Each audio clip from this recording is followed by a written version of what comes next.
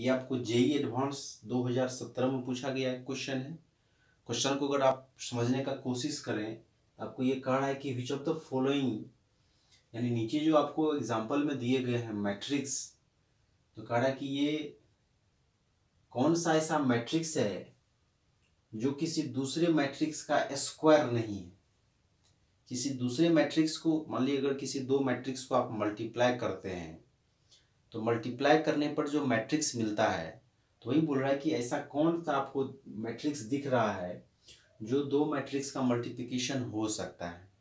तो दो मैट्रिक्स के मल्टीप्लिकेशन का ये मतलब होता है कि मान लीजिए एक मैट्रिक्स है बी और एक मैट्रिक्स है सी तो बी इंटू सी जो है वो ए है। बी इंटू सी जो है वो ए है। तो डिटर्मिनांट्स अगर लेते हैं तो बी का डिटर्मिनांट्स इंटू सी का डिटर्मिनांट्स वो ए के डिटर्मिनांट्स के बराबर होना चाहिए।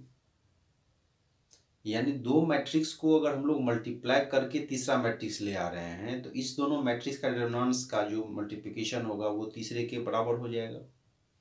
जैसे आप स्क्वायर ही करते हैं, आप कहते हैं कि ए इंटू ए बी है। इसका ये मतलब हो गया कि ए का डिटर्मिनांट्स इंटू ए का determinants is equal to B का डिटर्मिनांट्स हो जाएगा। यानी बी का डिटर्मिनांट्स जो है वो ए के डिटर्मिनांट्स के स्क्वायर के बराबर हो जाएगा। तो सबसे पहले यह देखिए कि पॉजिटिव संख्या का स्क्वायर पॉजिटिव संख्या होता है। लेकिन क्या निगेटिव संख्या का स्क्वायर निगेटिव होता है क्या? निगेटिव संख्या का स्क्वायर भी पॉजिटिव हो जाता है। तो सबसे पहले आप ये देखिए कि चारों में डिटर्मिनांट्स किसका पॉजिटिव किसका निगेटिव आ रहा है। तो आप ये देखिए कि इसका डिटर्मिनांट्स अगर आप निकालते हैं तो मेन डायगोनल जो होता है, उसका प्रोडक्ट होता है। डायगोनल मैट्रिक्स अगर हम लोग ध्यान से अगर याद हो तो डायगोनल मैट्रिक्स का डिटर्मिनेंट्स कैसे निकालते हैं? तो मेन डायगोनल में जो एलिमेंट है, उसको हम लोग मल्टीप्लाई करते हैं। तो इसका डिटर्मिनेंट्स हो जाएगा आपको माइनस वन तो ये जो माइनस वन हुआ और कह रहे हैं कि ये किसी मैट्रिक्स के स्क्वायर के ये बराबर है। इसका मतलब हो गया कि किसी मैट्रिक्स का जो डिटर्मिनेंट्स आया होगा, उसको स्क्वायर करेंगे तो माइनस वन आएगा। तो आपको अब ये सोचना है कि किस संख्या का स्क्वायर माइनस वन है? क्या ये पॉसिबल है? नहीं है। इसका डिटर्मिनेंट्स कितना हो जाएगा? इसको मल्टीप्लाई करेंगे ऑलमोस्ट माइनस वन आएगा। इसका मतलब ये भी किसी का स्क्वायर नहीं हो सकता है, क्योंकि अगर स्क्वायर करेंगे तो माइनस वन आएगा कहाँ से? ये देखिए। तो ये अगर आप इसको करते हैं तो ये वन होगा तो ये हो सकता है। कि ऐसा मैट्रिक्स जिसका डिटर्मिनेंट्स खुद वन हो और उसको वन से ही मल्टीप्लाई करेंगे तो आपको वन आ सकता है। या माइनस वन हो और माइनस वन को माइनस वन से मल्टीप्लाई करें तो वन आ सकता है। अगर आप इसको इसका डिटर्मिनेंट्स निकालते हैं तो ऑलमोस्ट ये भी कितना आएगा ये भी आपको वन आ जाएगा। यानी ये भी किसी का स्क्वायर हो सकता है। यानी सी और डी किसी का स्क्वायर हो सकता है। लेकिन ये ए और बी जो आप देख रहे हैं, ये किसी का स्क्वायर नहीं होगा।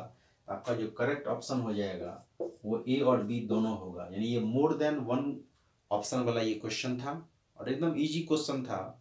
थोड़ा सा कॉन्सेप्ट बेस्ड था, जिसे आप आसानी से सेंस के साथ इसको आप बना सकते थे। इसे आप नोट कर लीजिए। ये क्वेश्चन है आपको बोर्ड पे, जो जेई मेन 2015 में पूछा गया एक क्वेश्चन है। क्वेश्चन क्या है कि एक मैट्रिक्स आपको दे रखा है। One two two two one minus two A two B और कह रहा है, ये एक मैट्रिक्स इस तरह से है जो कि A A transpose is equal to nine I के इक्वल है, जहाँ आई आपको यूनिट मैट्रिक्स होता है।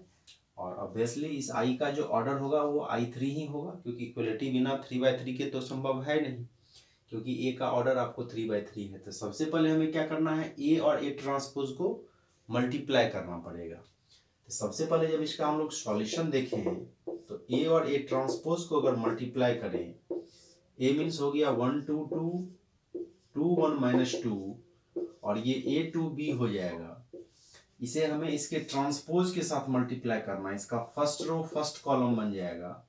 इसका जो सेकेंड रो है, वो सेकेंड कॉलम बनेगा। और इसका थर्ड रो जो है, वो थर्ड कॉलम बन जाएगा। इस तरीका से अगर इसे हम मल्टीप्लाई करें तो ये आपको हो जाएगा one plus four plus four तो ये one plus four plus four nine हो जाएगा। सेकेंड अगर देखें तो ये टू ये टू फोर माइनस फोर तो ये ज़ीरो होगा। थर्ड को अगर देखें तो ये आपको ए ये फोर और ये आपको बगल में टू भी हो जाएगा।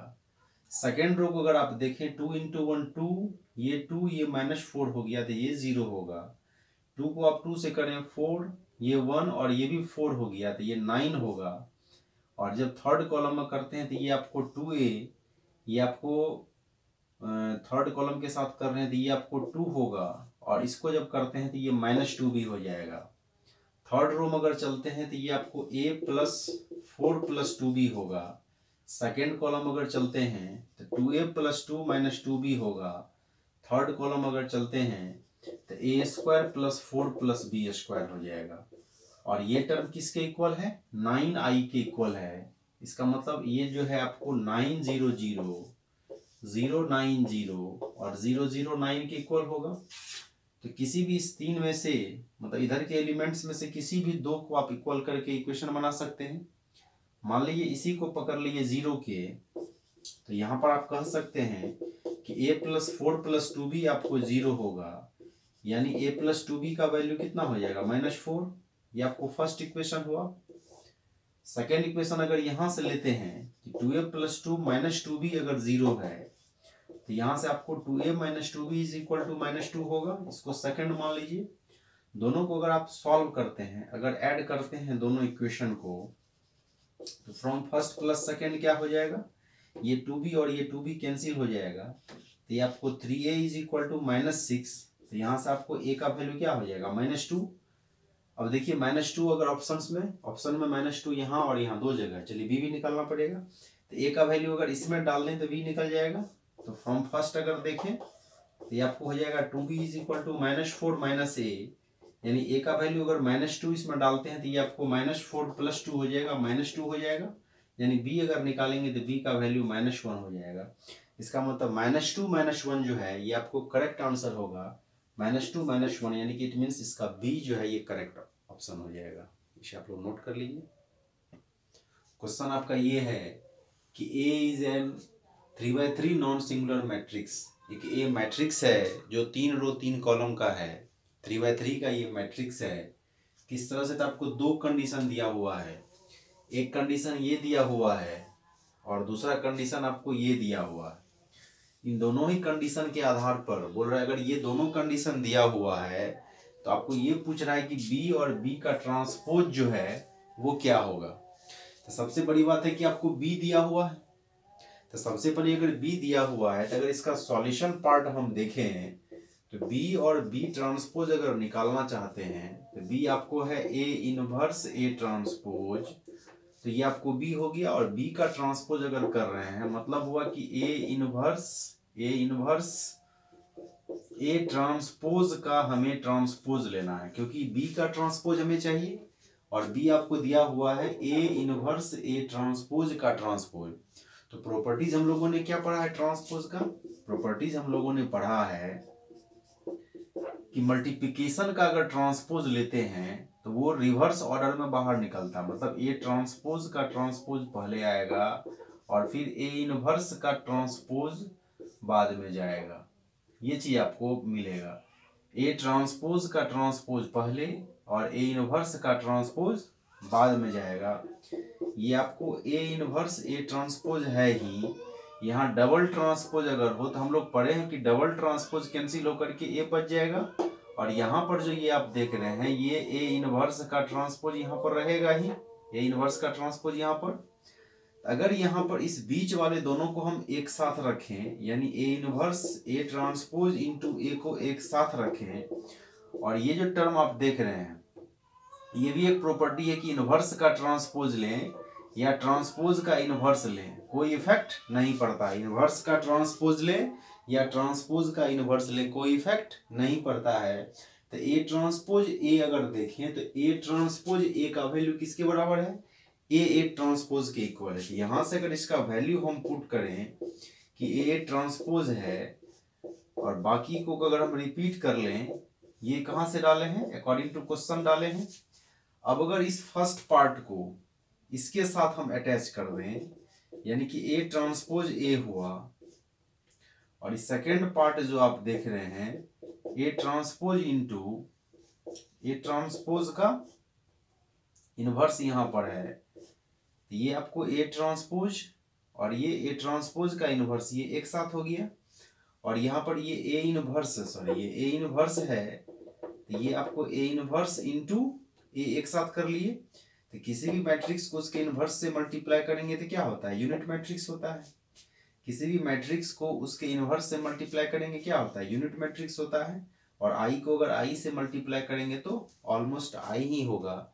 इसका मतलब हो गया, इसका आंसर आपको हो जाएगा डी तो इसे आप लोग नोट करिए। पहले बच्चों, ये मैट्रिक्स का आपको अगला क्वेश्चन है। जो कि जेई मेंस 2016 में पूछा गया क्वेश्चन है। और ये क्वेश्चन है कि आपको एक मैट्रिक्स दिया हुआ है पी और एक मैट्रिक्स दिया हुआ है ए। और ये क्यू आपको दिया हुआ है पी, ए, पी ट्रांसपोज करके। आपको पूछ रहा है कि पी पे, पी ट्रांसपोज क्यू पे पावर 2015 और पी का जो प्रोडक्ट है वो इसमें से क्या होगा? तो सबसे बड़ी बात है कि आप क्यू देख देखिए क्यू क्या है। पी, ए, पी ट्रांसपोज है। और यहाँ पर क्यू पे क्या आप देख रहे हैं? पावर है 2015 तो सबसे बड़ी बात है कि पहले उसका नेचर तो पता कर लें कि आखिर क्या है वो। तो सबसे पहले पी अगर यहाँ पर आप देखें, ये पी अगर देखें रूट थ्री बाई टू ये वन बाई टू है, ये माइनस वन बाई टू है और रूट थ्री बाई टू है। आप अगर इसके ट्रांसपोज को देखें ट्रांसपोज अगर निकालना चाहते हैं, इसका ट्रांसपोज क्या होगा? इसका फ़र्स्ट रो फ़र्स्ट कॉलम होगा root three by two one by two होगा, और सेकेंड रो सेकेंड कॉलम होगा, यानी कि ये माइनस हाफ़ हो जाएगा, और ये रूट थ्री बाई टू होगा। इनवर्स निकालने के लिए, अगर मान लेते हैं पी का इनवर्स निकालना, चाहे रिटर्नॉन्स निकालेंगे इसका, इधर से अगर मल्टीप्लाई करें तो ये आपको थ्री बाय फोर होगा माइनस ये माइनस वन बाय फोर इसको प्लस वन बाय फोर कर देगा। यानी कि फोर बाय फोर ये ऑलमोस्ट वन हो जाएगा, जो कि ज़ीरो के इक्वल नहीं है। यानी इसका आप इनवर्स निकाल सकते हैं। और पी इनवर्स का फॉर्मूला क्या होता है? पी इनवर्स का फॉर्मूला होता है adjoint P by determinants P determinants P का वैल्यू वन है। और एडजॉइंट निकालने के लिए आपको आता है कि मेन डायगोनल के एलिमेंट को अगर रिवर्स करें तो ये आपको root three by two root three by two होगा। और इसका अगर साइन चेंज कर लें ये माइनस हाफ़ होगा और ये प्लस हाफ़ होगा। इस तरह से आपको ये पी इनवर्स मिला। और इसको जरा गौर से देखिए तो ये क्या है? ये आपको पी ट्रांसपोज है और इसमें और इसमें क्या डिफरेंस है? कोई डिफरेंस नहीं है। यानी आप कह सकते हैं कि ये पी ट्रांसपोज जो है, वो पी इनवर्स के इक्वल है। अब ये मामला हो गया कि वो जो क्यू दिया हुआ है अकॉर्डिंग टू क्वेश्चन आपको क्या दे रखा है? कि क्यू जो है, वो पी ए पी ट्रांसपोज है आप ये कह सकते हैं, ये पी ए पी इनवर्स है।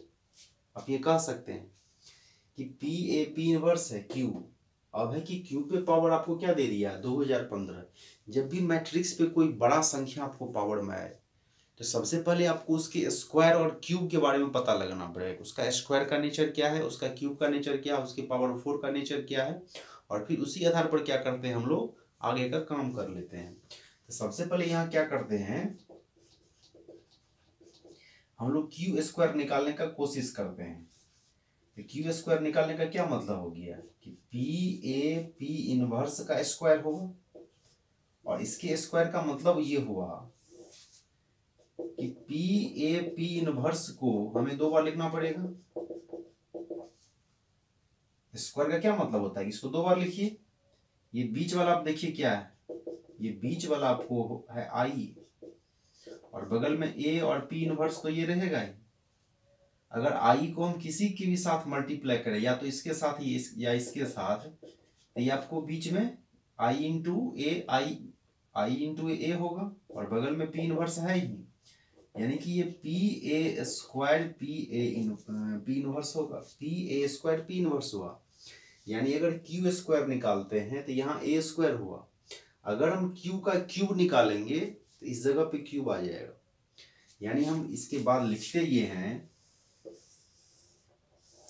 इसके बाद लिखना ये है कि क्यू का अगर क्यूब करेंगे तो ये आपको P A cube, A inverse, P inverse हो जाएगा। P A cube, P inverse हो जाएगा। P A cube, P inverse होगा। क्यू का क्यूब अगर करें, और अगर क्यू पे पावर 2015 कर दें इसी तरह से आप कह सकते हैं कि क्यू पे पावर 2015 जो है, वो पी ए पर पावर 2015 पी इनवर्स हो जाएगा। इसका मतलब ये चीज़ आपको निकल गया। अब देखिए, अगर इसके वैल्यू को इसमें आप प्लेस करते हैं तो आपको क्या मिलेगा? आपको मिलेगा ये कि P transpose P transpose Q पे पावर 2015 पी तो क्या होगा ये? ये P जो आप देख रहे हैं, P ट्रांसपोज ये क्या होता है? P इनवर्स होता है। P इनवर्स हुआ। Q पे पावर 2015 का मान यहाँ से डालिए। P A पर पावर 2015 इंटू पी इनवर्स और बगल में P का मान डालिए। तो ये दोनों मिल करके I हो गया। बगल बीच में आपको A पर पावर 2015 है ही और इस दोनों को मल्टीप्लाई करेंगे तो आई होगा। कहने का ये मतलब हो गया कि आई से किसी भी मैट्रिक्स में मल्टीप्लाई करें, कितना भी आई हो, चाहे आगे से मल्टीप्लाई करें कि पीछे से मल्टीप्लाई करें, इसका मतलब हो गया ये आपको ए पे पावर 2015 होगा। अब है कि ए पर पावर 2015 अगर है, आपको ए मैट्रिक्स भी दिया हुआ बगल में, यहाँ पे। अब यहाँ से आप अंदाज़ा लगाइए, अगर ए दिया हुआ है ए पर पावर 2015 है तो क्या करना पड़ेगा? फिर वही पीछे वाला हुआ ए स्क्वायर निकालिए ए क्यू निकालिए, वहाँ से नेचर पता करिए। अब यहाँ क्या करते हैं हम लोग? ए स्क्वायर निकालते हैं पहले तो ये ए इंटू ए होगा। ए इंटू ए का क्या मतलब हो गया? वन वन ज़ीरो वन को हम वन वन ज़ीरो वन से मल्टीप्लाई करेंगे। तो कितना हो जाएगा ये? ये वन वन को करेंगे इसके साथ तो ये वन होगा। इसको करेंगे सेकंड के साथ, वन प्लस वन टू होगा। इसको करेंगे इसके साथ तो कितना होगा? ज़ीरो होगा। इसको करेंगे इसके साथ तो ये वन हो जाएगा। तो ए स्क्वायर किए तो क्या हो गया? ये देखिए ए में ये वन ज़ीरो ज़ीरो है। तो ये वन ज़ीरो ज़ीरो है ही। स्क्वायर किए तो ऊपर में स्क्वायर किया। क्यूब अगर करेंगे तो वहाँ थ्री हो जाएगा। इसका ये मतलब हो गया कि ए पे जितना पावर होगा, वो पावर कहाँ चला जाएगा? इस जगह पे चल जाएगा। तो इसके आधार पर हम कह सकते हैं कि ए पर पावर 2015 जो है, ये आपको वन 2015 ज़ीरो और वन हो जाएगा इस तरीका से। ये दो, वन दो हज़ार पंद्रह ज़ीरो वन, इस तरह से आपको ये आंसर जो है आपको बी आंसर आपको हो जाएगा। तो थोड़ा सा आपको कैलकुलेशन करना पड़ेगा कभी कभी लेकिन आप इसके अंदर ही इसको फास्टली बना सकते हैं। अगर कॉन्सेप्ट क्लियर हो गया तो जंप करना आसान हो जाएगा। इसे आप लोग नोट कर लीजिए।